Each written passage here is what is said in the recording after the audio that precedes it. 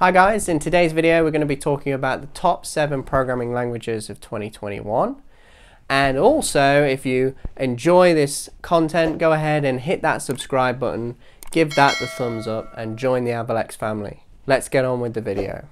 So in today's video we're going to take a look at those all important 7 programming languages in my humble opinion in 2021.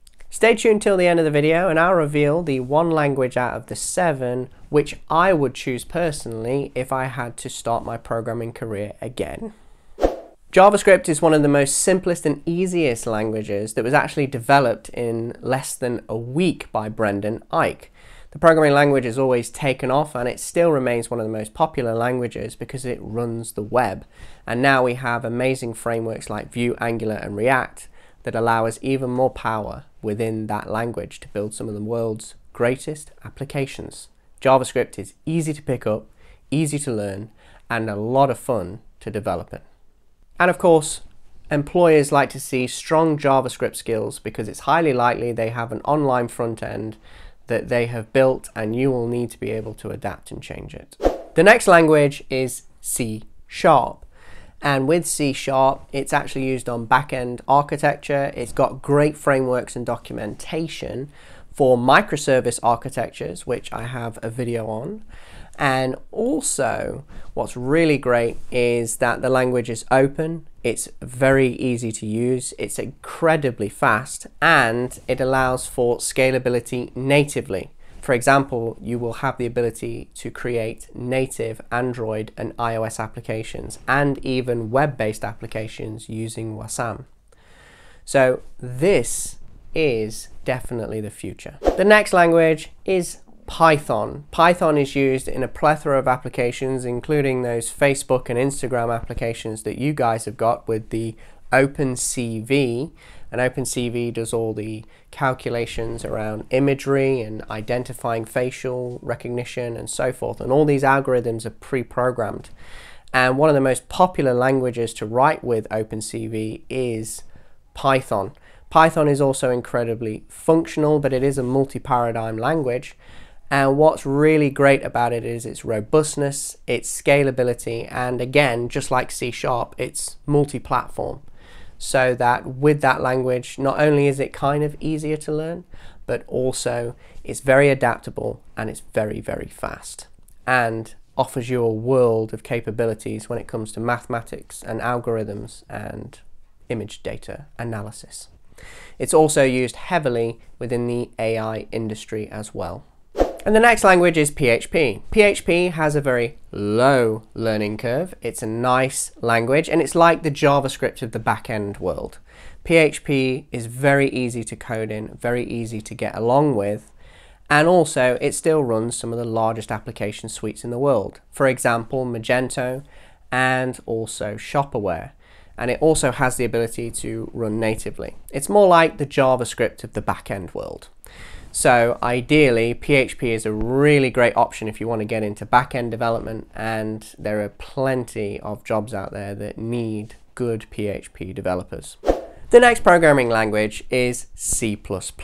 Now C++ is rather a very steep learning curve. However, you can build some incredibly robust applications and C++ has been used in product-based applications for many, many years. It may not be as scalable or as easy to use as let's say C Sharp, but what it does bring to the table is an incredible amount of speed and a fairly good and sturdy base to start building applications on. But do be warned, there's a big learning curve for C++.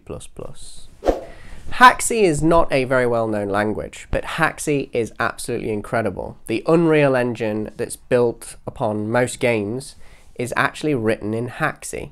Haxe is a transpilable language, so instead of thinking of it as a language itself, it transpiles into multiple languages. You write Haxe once, and that can be transpiled into C Sharp, Java, C++, Rust, and many more. And that language is very flexible.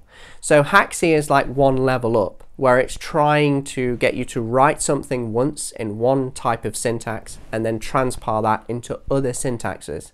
This makes it an incredibly powerful language, and some very top companies have been using Haxe over the years with their products. It's a very scalable product. It's amazing. And if you haven't seen the Unreal Engine, I recommend you check it out because that was all based on Haxe. One of the common questions that I get asked about Haxe is, does it transpile perfectly? Well, syntactically, yes, but feature-wise, no. For example, a language may have a certain feature that is not available to another. For example, the file system or a MySQL driver or a database driver that may not be available in, let's say, a front-end language or it is available in a back-end language. So really, Haxe is more based around features, but the actual syntax of Haxe will transpile correctly into all of those languages, making it very robust and it saves you having to learn multiple syntaxes. The next programming language was also written by the number one programming language in the world, which was Brendan Eich. He wrote JavaScript and he also wrote Rust. Now the reason why Rust is up and coming is because it's a language centrally focused around security. It has a very steep learning curve and that is the big warning on it. But when you know Rust, it's incredibly functional, a lot like the Go language. And Rust can be used for machine learning. It's mostly used around security. And also because it's already had Brendan Eich's backing on that, who's made the number one language in the world, which would be JavaScript. This one is definitely a goer if you're prepared to invest a lot of time in learning that language. I promised at the start of this video I would reveal the one language that I would learn at the beginning of my career if I could do it over again and that would be JavaScript. It's already number one on the list but JavaScript I didn't learn initially. I learned ActionScript in, in the very old days so JavaScript would have been my preferred language and it's so much fun and it will teach you a lot about the simplicity in programming. Alright guys, so I hope you've really liked this video. If you have, go ahead and hit that subscribe button, give me a nice big thumbs up, and I have some great content to follow on from this, such as the Programming 101 and also the JavaScript Essentials course to get you tucked into everything you need to start your career as a programmer.